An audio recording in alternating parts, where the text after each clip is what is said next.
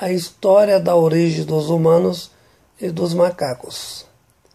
O homem não é descendente direto dos macacos, mas resultou do mesmo elo propulsor.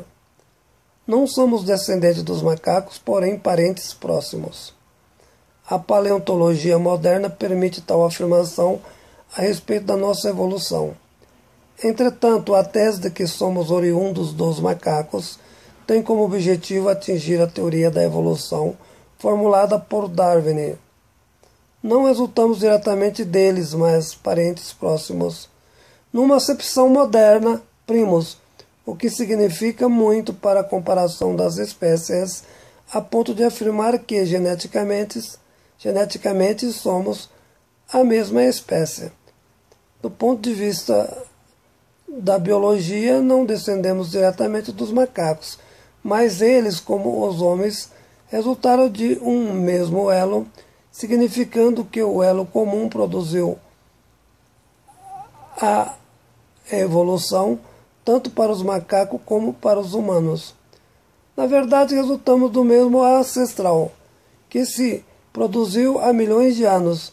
Em um determinado momento, essa linhagem dividiu-se, desenvolvendo os símios, que são denominados macacos, os homens sapiens, que é chamado de humano.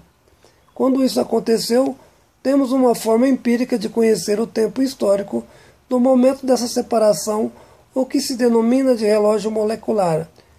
Esse é o caminho genético que nos possibilita saber, pela taxa das mudanças, as sequências do DNA, quando de fato acontece a separação pelas quantificações da herança genética. A sequência genética, pelo grau de discrepância, revela o relógio molecular.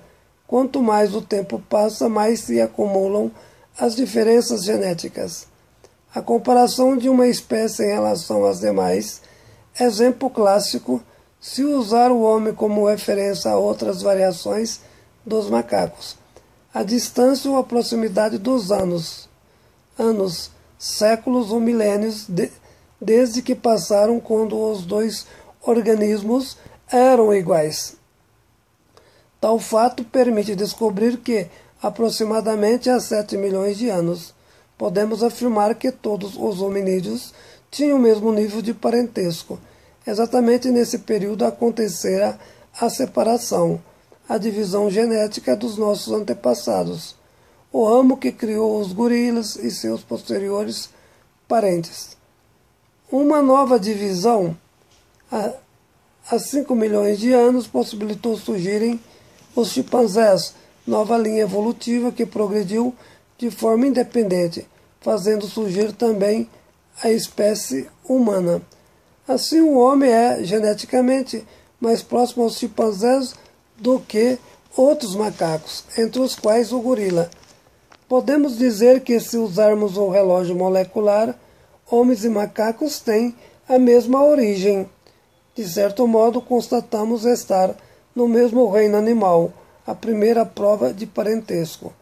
A segunda prova molecular de parentesco é permanecermos no mesmo condado, na mesma classe de mamíferos. Significa que tivemos ao longo da história a mesma origem.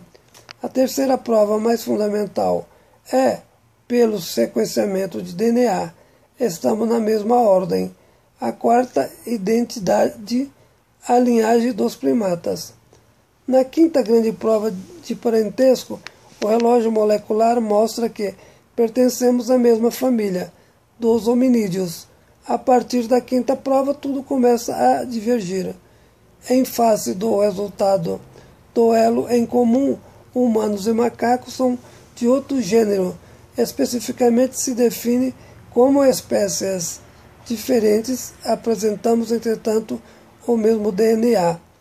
A diferença mínima de 1,6 ou 1,8 entre os homens e chimpanzés significa, em alguns casos, somos mais parentes deles do que dos, dos homens.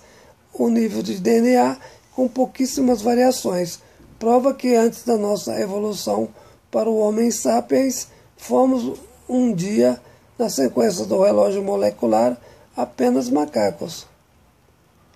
Cientificamente, Deus não criou o homem da forma que está relatado na Bíblia. As provas empíricas são evidentes. Não há como negar a genealogia formulada pelo mundo sequencial da estrutura genética. O homem resultou do mecanismo da evolução, de um elo inferiorizado tanto quanto o macaco, como o homem, os elos se formularam outras espécies, comum na diversidade das espécies. Cumprem apenas uma função intermediária na definição das diversidades das mesmas. Interessante é a prova das diversidades das espécies na evolução. Há uma lei que defende a evolução natural de cada espécie.